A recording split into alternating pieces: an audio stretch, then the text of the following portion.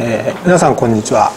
えー、今日は、えー、本流用の、えー、シューティングヘッド STSR について、えー、お話ししたいと思います、えー、まず STSR というのは何略かっていうと、えーまあ、短いシューティングテーパーつまりシューティングテーパーショートっていうのの略になります。えー、本流用のシューティングラインで短いんですけども、えー、キャスティングの用意で、えー、使いやすいラインになっております。その中で今日は、えー、トリプルデンシティっていうシンクティップについてお話ししてみたいと思います、えー、なぜトリプルデンシティというかと言いますと、えー、3つのコーティングで構成されてまして、えー、先端沈む部分の先端ティップ部分ですね。でそれから、えー、ボディがあってえその中間をつなぐトランジッションの部分のコーティングがあります、えこれの場合は先端がタイプ3インターミデート、えフローティングと。こういう3つの、えコーティングで構成されています。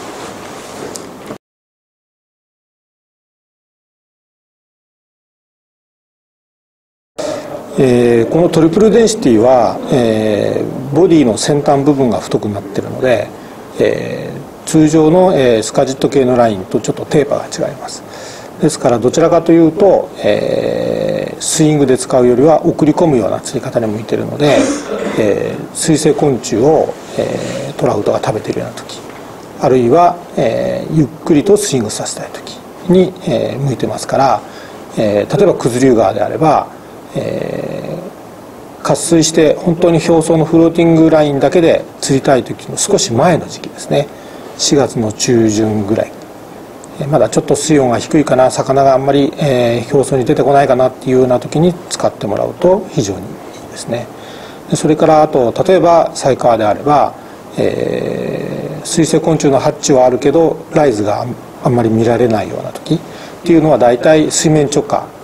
大体水面直下から50センチぐらいのと割と表層でえー、水生昆虫を捕食していることが多いのでそういう時にも、えー、非常に使いやすいラインですね。であと例えば北海道なんか行っても、えー、例えば川幅が狭いようなあんまり大きな川じゃない時に、えー、岸寄りギリギリまで流したいような時。っていうのはフルシンクで釣ると最後ライン回収の時に引っかかりやすいですけど、えー、こういうシンクティップ系のラインであればギリギリまで流しても、えー、回収でのトラブルは比較的少ないのでえ快適に釣ることができる。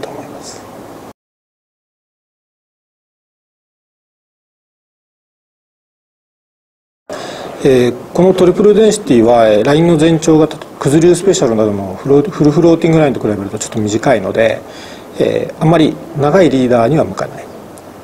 えー、例えばサーモンリーダーのように16フィートとかそこまではあのちょっと使いにくくなると思いますので、えー、私の場合は大体フロロリーダーの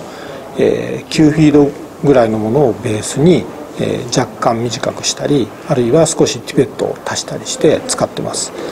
でシューティングラインについては、えー、ナチュラルで送り込むような釣り方する時にはやはりシューティングラインは少しでも軽い方が操作しやすいですから、えー、多くの場合、えー、モノフィラの、えー、8号を使います、えー、340グレーンとか軽いラインを使う時はさらに軽いシューティングラインがえー、適しますから6号もしくは7号とか軽いラインを使うことも多いですね。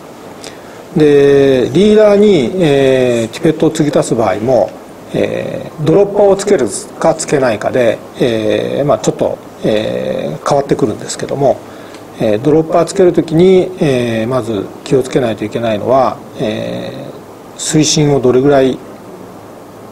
を想定して釣りをするかということで、えリーダーの、え全長がまず決ま決まります。ですからもし表層を釣りたいのであれば、え軽いドロッパーに、え9フィートのリーダーの先端に軽いドロッパーをつけてその先に、えリードフライ用のティペットを継ぎ足して全長が12フィートぐらいになるような感じで例えば、えこのように先端がタイプ6がついている、えタイプの、えよく沈むタイプのシンクティップで沈めて釣りたい時はあまりこのリーダーあのえ、ラインのティップからフライを離してしまうとフライが沈みにくくなりますから、えー、リドロッパーをつける場合でもリーダーの全長は9フィートぐらいまでに抑えて、えーえー、リーダーそうですね先端、えー、リーダーの先端を3フィートぐらいカットしてからドロッパーを結んででその先にリードフライが来ると。いうような調整もしますで逆に、えー、今年出るこの、えー、先端がクリアインターのタイプですと、えー、そもそもそれほど深く沈みませんので、えー、もしかすると12フィートリーダーをつけてその先に、え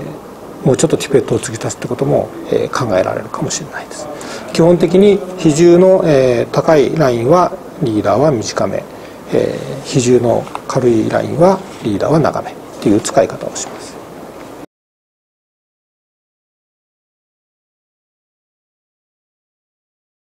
えー、フライはですね、えー、ドロッパーは今特にあの私が気をつけてるのはドロッパーの重さなんですけど、えー、沈めたい時にはやはりちょっとウエイトの入った重めのドロッパーを使うことが多いです。でドロッパーで棚を取っておいて食わせるのはリードフライという方が、えーまあ、実績があります。リードフライを重くするという考え方もあるんですけども流速の速いところで重いリードフライは、えー、特に弊害はないかと思うんですけど流速が遅いところで重いリードフライを使うと、え、フライの動きがちょっと単調になってしまったりとかいろいろ弊害も出て魚の反応も若干悪くなるので、えー、私の場合は、えー、この例えばこの先端タイプ6のこれでもまだもうちょっと沈めたいっていう時には、えー、タングステンビーズのついたドロッパーをつけてでその先に、えー、リードフライを、えー、結んでそのリードフライで魚を狙うと。いうふうにします。で特にタングステンビーズのついたの重いフライを使った時には今度は、えー、先ほどお話したように沈むシンクティップから、えー、長いリーダー使うとフライが沈みにくいというお話ししましたけども同様に重いフライから重いドロッパーから、えー、リードフライを、えー、大きく離してしまうとその分沈みにくくなりますから、えー、一番短い時はドロッパー重いドロッパーからリードフライまでは、えー、そうですね1.5フィートぐらいまで詰めることもあります。でまあ基本的に使うフライはほとんどウエットフライ、えー、まあ小型であればストリーマーももちろん使えますけども、えー、ウエットフライを使うことが多くてサイズはもう、えー、どんなサイズも使えますけども、えー、そうですねスプロートの14番ぐらいからサーモンフックの4番ぐらいまでは、えー、十分使うことができると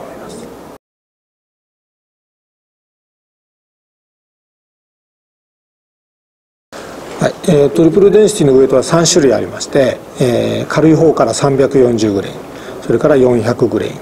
えー、一番重いのが460グレインになってます。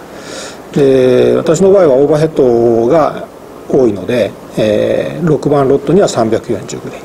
7番ロッドには400グレイン。から8番ロッドには460グレインを合わせてます。ただ、えー、スペイをメインでやられる方は、えー、ロッドによっては、えー、一番手上のウエイトを使ってもらう。7番だったら460グレインを使うっていうような設定の方が使いやすい場合もあると思います。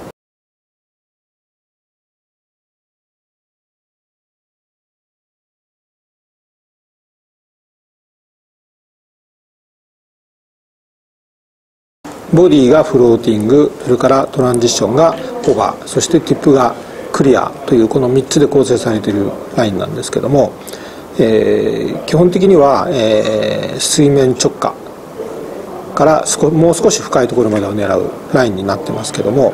えー、他の、えー、トリプル電池と同じようにボディは、えー、ボディの先端部分が一番太くなっています。で、えー、先端がクリアインターですから、えー、魚に対するインパクトも、えー、最小限に抑えられると思います。でえー、先端がクリアインターということは、えー、沈み沈み方も、えー、それだけ、えー、他のラインと比べると少ないですから、えー、深く沈める時に6、えー、中層を狙う時には3そして、えー、表層水面直下を狙う時にはクリアインターという使い分けが、えー、一番適しているかなと思います。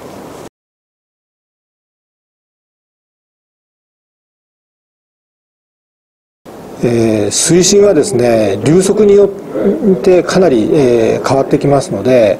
例えばこの先端がクリアインターのものでも、えー、極めてゆっくり沈むような流れであれば、え、1メートル以上沈む場合もありますし逆に、え、このタイプ6で、え、激流に近いような流深背をつるような時だと、え、50センチ沈めるのがやっとっていうことも考えられますからえー、同じ水深でも流速とのバランスを考えて使い分けていただくといいかなと思います。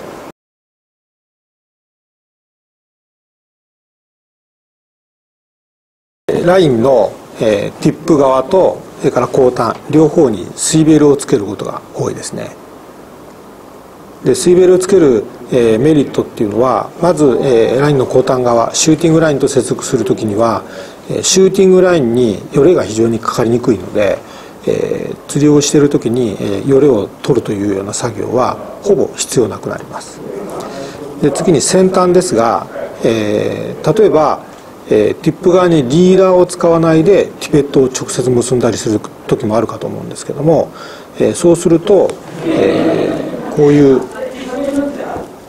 溶着ループの先端に糸を直接結ぶとコーティングが、切れたりするっていうようなことも起きると思うんですけども、えー、水ベルがついていれば、えー、そういうトラブルも起きませんので、えー、釣り場での、えー、リーダー交換あるいはティペット交換が非常に、えー、迅速かつスムーズにできると思いますで意外とこの小さな水ベルですから、えー、ロッドとの、えー、干渉とかそれから、えー、石に挟まるとかそういうトラブルも、えー、非常に少なくて、えー、釣りが全体的にこう快適にできると思います。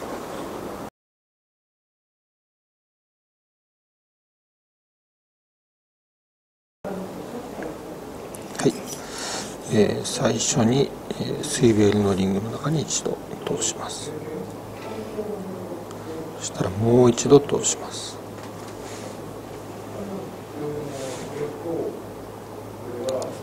たら一度向きを変えて上が二重になるようにしてそこに先端を1回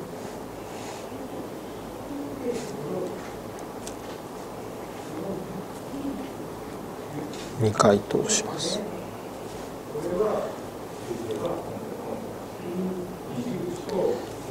この二重になっているリングを均等に締まるように両側から少しずつ締めていきます。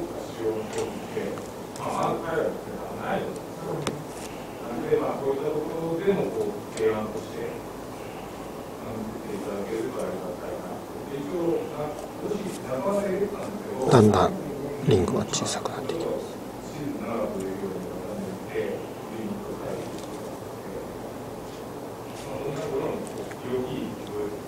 ちょっと小さくしますねでこれぐらいになったら両側から締めていきます